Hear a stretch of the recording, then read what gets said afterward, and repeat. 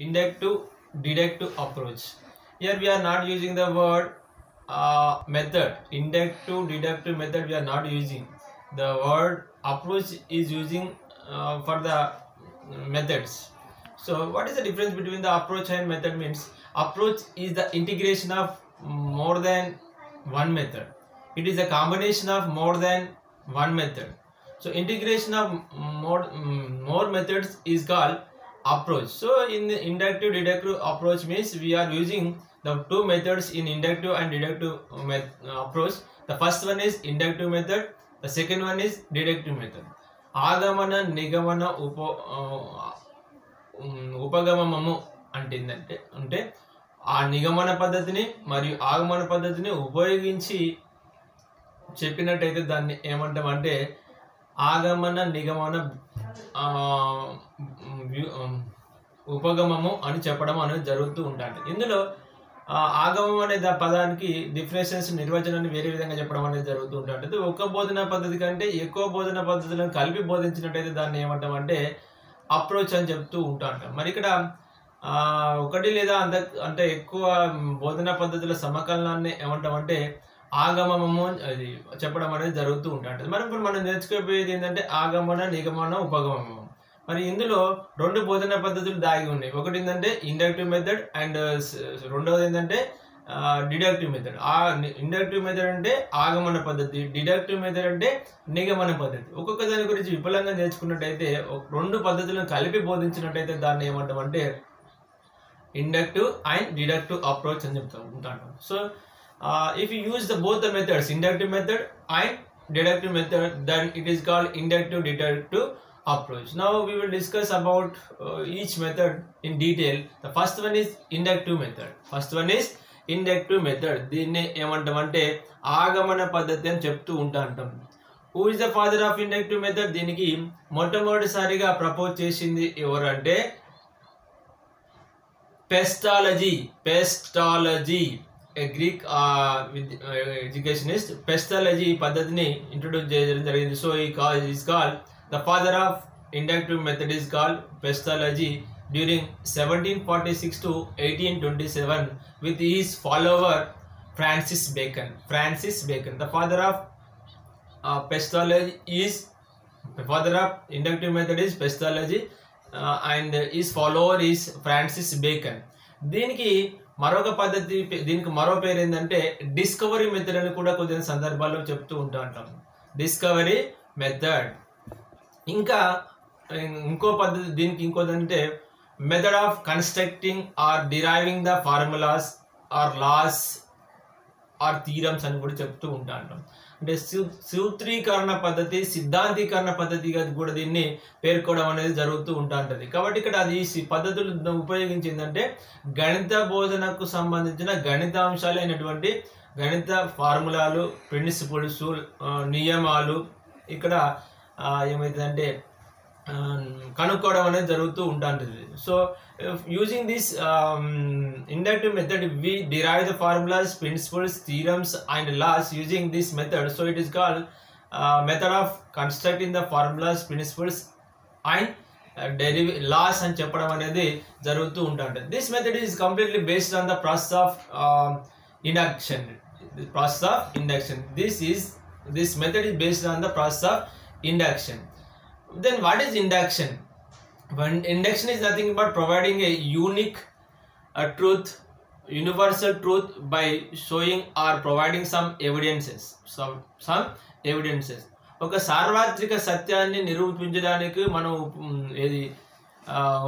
కొద్దిగా సాక్ష్యాలను పొందుపరిచి ఒక నియమాన్ని కానీ ఒక సూత్రాన్ని కానీ ఒక సిద్ధాంతాన్ని కానీ రాబడడం అనేది ఈ పద్ధతిలో జరుగుతూ ఉంటా ఉంటుంది కాబట్టి ఇక్కడ they follow some procedure. They follow some steps to derive the formulas and principles or theorems in this method. The first step is they give some examples. Then they will observe the examples of the truths and if they are good they will come to generalization. And then the fourth one is they will go for testing and verification if they are good automatically they will generalize or they will derive a formula or principle So there are four steps in uh, de- deriving the formulas or um, laws. The first one is uh, presentation of the examples and observation of the examples. The third one is uh, generalization of the uh, truths. The fourth one is testing or verification of the uh, true laws and principles. So uh, this depends upon this proceeds from uh, simple to complex. Simple to complex. అది తెలిసిన విషయం నుంచి తెలియని విషయానికి జరుపుతూ ఉంటుంటుంది that means ముహూర్తం నుంచి అమూర్తానికి next that means concrete to abstract specific to general అనేక విషయాల నుంచి కొన్ని ప్రత్యేకమైన అంశాల నుంచి సాధారణీకరణ అంశాలకు ఈ పద్ధతి అనేది దారి తీస్తూ ఉంటా ఉంటుంది ఎగ్జాంపుల్ తీసుకున్నట్టయితే ఇందులో చాలా యాక్టివిటీస్ అనేటివి ఉండడం అనేది జరుగుతుంటుంది ఇది దేనికి ఉపయోగమైన పద్ధతి ఏంటంటే మ్యాథమెటిక్స్ బోధనకు ముఖ్యంగా ఆర్థమెటిక్ ఇది బాగా బోధించడానికి ఉపయోగపడే పద్ధతిగా చెప్పడం అనేది జరుగుతుంది. This method is more useful to teach mathematics to the students for effective learning of mathematics especially to the branch of arithmetics so we can say this is the method of framing the rules this is the method of framing the laws and theorems and to derive the formulas of the mathematics especially in arithmetic, arithmetic and this method is also known as bottom up method bottom up method అంటే బావుల నుంచి నీరు తోలే పద్ధతిగా దీన్ని చెప్పడం అనేది జరుగుతూ ఉంటుంటది ఇక్కడ ఎలా వెళ్తాయి అంటే ప్రాసెస్ అంతా కాంక్రీట్ టు అబ్స్ట్రాక్ట్కి వెళ్తూ ఉంటుంటుంది నోన్ టు అన్నోన్ వెళ్తూ ఉంటుంటుంది స్పెసిఫిక్ టు జనరల్ వెళ్తూ ఉంటుంటుంది మోర్ ఇంట్రెస్టింగ్గా ఉంటుంది. చాలా విద్యార్థి చాలా ఇంట్రెస్టింగ్గా నేర్చుకొని సబ్జెక్టు పైన అవగాహన అనేది బాగా పెంపొందించుకోవడం అనేది జరుగుతూ ఉంటుంది కాబట్టి ఒకసారి విషయం అర్థమైనట్టయితే మర్చిపోయినా కూడా ఇందులో he can recall the concept what he has learn in the topic ఒకసారి విషయం విద్యార్థి if the student also forget sometimes the formula or whatever it be he can recall by using the procedure what is follow to derive the formula or the principle కాబట్టి ఇక్కడ మనం ముఖ్యంగా four steps గుర్తుపెట్టుకోవాలి in the procedure first we have to go for the we have to present the examples first one second one we have to observe the examples what we are presenting the third one is we have to generalize from the specific example to the from specific examples the fourth one is we should go for the verification or testing of the results or the facts this is uh, about the uh, inductive method. The father of inductive method is um,